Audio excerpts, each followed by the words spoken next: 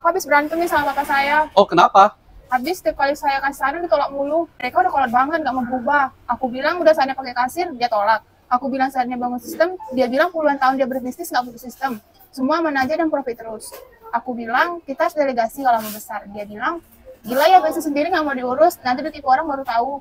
Capek banget aku kawi. Mereka sudah aku lanjutin bisnis keluarga, tapi mereka sendiri seperti nggak mau lepas gitu. Kasus Cici Mei itu mirip saya dulu ya.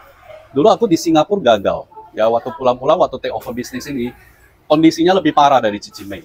Ya, taulah namanya orang gagal itu kan semua saran yang saya kasih ke tahu ke mereka, mereka juga nggak terima. Mirip lah, mirip banget sama Cici Mei.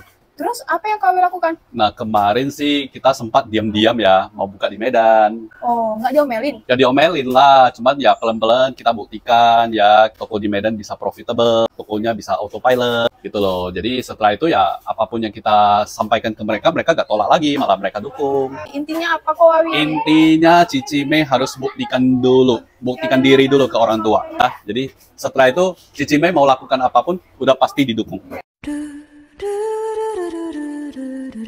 Su, saya Intan, anak Cici Mei. Eh Tan, kamu udah besar ya Tan ya. Apa yang bisa susu bantu? Aku disuruh mama lanjutin bisnis keluarga, tapi aku capek banget. Mama kolot, nggak mau berubah. Tuh, kamu mirip banget sama mama kamu. Like mother, like daughter.